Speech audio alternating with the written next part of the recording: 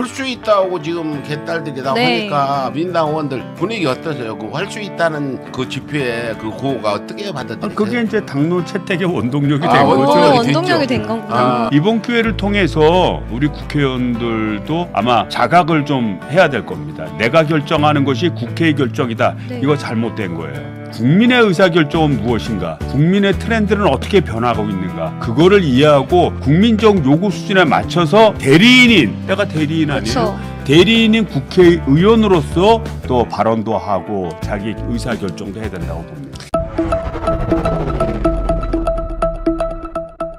과거에는 집회하면 막 민주당 뭐 180석 줬는데 뭐냐 하고 어, 질타하고 비판하고 비- 막 소리 질렀잖아요. 근데 이번 이 집회가 첫날 열릴 날 갔더니 그랬어요 변함없이.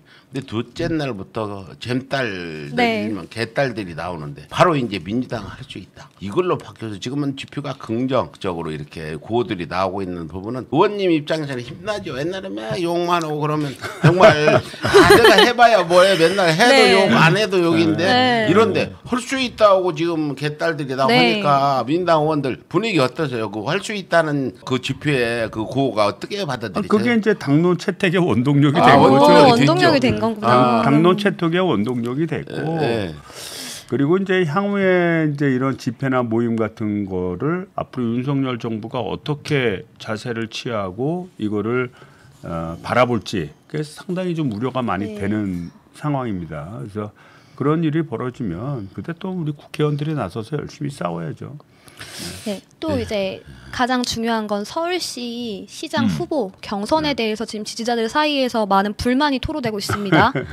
이 부분에 대해서 비대위가 현재 지지자들의 음성을 전혀 듣지 않고 지지자들의 의견을 듣지 않고 비대위끼리 밀실 정치를 통해서 지금 경선 후보를 치르려 한다는 여론이 형성되고 있는데 이 부분에 대해서 이야기 한번 해주시면 좋을 것 같습니다. 그래서 이제 결국은 이제 뭐 경선을 하기로 했으니까 이제 이 그런 문제는 다 해소됐는데 지난 과정을 보면 이제 서울시 국회의원들이 이제 반대가 좀 심했었습니다. 서울시 국회의원들의 반대가 심했고 그것이 윤호중 비대위원장한테 좀 영향을 준 거고 그러다 보니까 이게 있어서는 안될 송영길 전 대표, 네, 박주민 의원 을 어, 배제하고 그다음에 나머지를 선택하겠다 이런 황당한 결정을 네. 내렸죠. 그러다가 우리 또 개딸들을 중심으로 네. 해서 이게 문제가 있다라고 많은 의견 제시도 하고 해 가면서 이제 결국 이제 정상화됐는데 저는 이제 그렇게 봐요. 저도 이제 페이스북에 그런 글을 좀 썼는데 제가 국회 생활을 한 2년 했지 않습니까? 2년 해 보니까 이 국회가 이 국회의원들의 놀이터가 된 게 아닌가라는 생각을 많이 해요. 네. 그러니까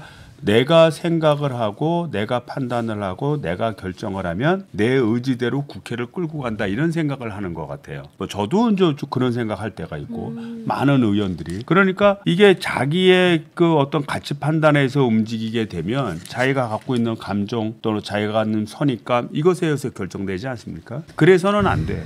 이게 국민적 시각에서 바라봐야 됩니다. 내가 어떤 국회에서 공적인 결정을 할 때는 우리 국민들 또 우리 대한민국이 발전되기를 바라는 많은 개혁 세력들 이런 사람들의 생각은 뭐고 그 사람들의 가치 판단은 뭔가라는 관점에서 이해하고 자기 발언도 순화시켜서 이걸 문제를 풀어가야지 국회의원 딱 되는 순간 자기 생각을 얘기해 버리면 그러면 대의 정치의 기본 전제가 좀 무너진다고 봐요. 근데 이미 뭐송 대표야 뭐 잘 아시다시피 우리 어? 민주당의 비주류 중에 비제류고 네. 그냥 왕따야 왕따. 그런데 그런데 이게 어떻게 보면 주류 세력들이 있었고 거기에 왕따였던 것이었는데 이제 국민들의 의사가 바뀌니까 그렇죠. 국민들의 의사가 새로운 변화를 요구하니까 그런 과정에서 당 대표도 됐던 거예요. 또 이재명 우리 후보도 옛날에 처음 정치 출발할 때는 중심 세력이 아니에요. 약간 왕따야. 예.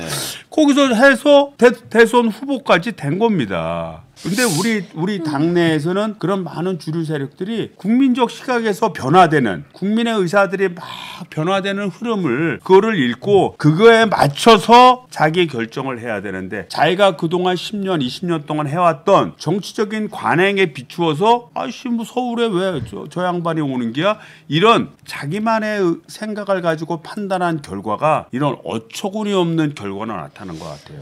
그래서 우리 국민들의 의사 표현이 되게 중요합니다. 또 이번에 우리 그 개딸들을 중심으로 해서 지- 우리 개혁 세력들이 많이 얘기를 해주셨는데 그래도 그것이 원동력이 돼서 어, 경선도 하게 되고 정상화의 길로 가게 된 거죠.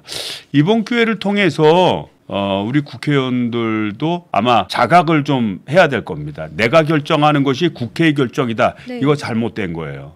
그것이 아니라 국민의 의사결정은 무엇인가? 국민의 트렌드는 어떻게 변하고 있는가? 그거를 이해하고 국민적 요구 수준에 맞춰서 대리인인, 내가 대리인 아니에요? 그쵸. 대리인인 국회의원으로서 또 발언도 하고 자기 의사 결정도 해야 된다고 봅니다. 예. 유권자들은 그냥 굉장히 어떤 개혁적으로 지금 변해가는데 이번 공천 과정을 보면서 뭐 이낙연계, 정세균계 등등 이런 얘기도 나오는데 아직도 민주당에 그런 개파 싸움들이 있습니까? 어, 네. 저는 그렇게 보는 게 우리 이제 노무현 대통령께서 사실 민주화의 큰 도를 이제 만들어 놓으신 분 아닙니까? 그래서 그 정치 세력이 민주당이 중심 세력이 됐고 또, 또 문재인 또 대통령도 또 배출하면서 그 세력들이 이제 세력이 이제 이어왔고 그 외에 뭐 우리 이해찬 전 대표라든지 또는 정세균 전 총리님이라든지 이런 분들도 넓은 의미의 넓은 의미의 친노 친문 이렇게 같이 했던 세력들이에요. 그런데 이제 이런 변화의 흐름이 있다는 거예요. 변화의 흐름이 국민들이 원하는 원리주의적이고 이론적이고 그 다음에 이념적이고 이런 것보다는 실용적이고 현실적이고 그 다음에 국민들에게 필요한 거를 얘기해 주는 정치 시스템이 필요하다라고 요구를 하는 겁니다. 그런 요구에 의해서 그 아까도 말씀드렸듯이 송영길 당대표가 된다든지 또는 이재명 또 후보가 된다든지 이런 과정이 있었던 것이고 이런 과정은 자연스럽게 수- 이 변화하는 국민들의 뜻에 맞춰야 되기 때문에 저는 순응해야 된다고 봐요. 근데 아직까지 그 그런 세력 구조 내- 내에서 문제를 인식하게 된다면 된다면 저는 민주당이 또 한 번 또 한 번 큰 변화에 어떤 충격을 받을 수 있다 이렇게 보고요. 이번 결과를 좀 그리고 좀 많이 도와주세요. 네. 네, 많이 도와줘서 서울시장 당선되고 진짜 실패하지 않고 이번에 이- 만약에 이번에 이재명 후보가 당선이 됐다면 이 변화의 흐름이 급격하게 갔을 거예요.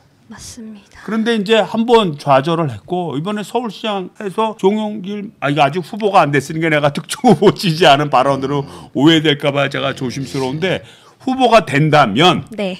된다면 진짜 적극적으로 나서서 도와줘야 됩니다. 그렇게 되면 윤석열 정부를 견제하는 중심층 역할을 또 할 뿐만 아니라 우리 당도 새롭게 새롭게 국민의 흐름에 맞춰 전환되는 계기가 될 거라고 저는 봐요.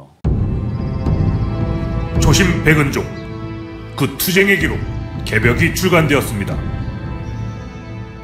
개벽은 이명박이 대통령으로 당선된 직후부터 시작되어 구속되기까지의 여정을 기록한 안티 이명박 투쟁의 역사입니다.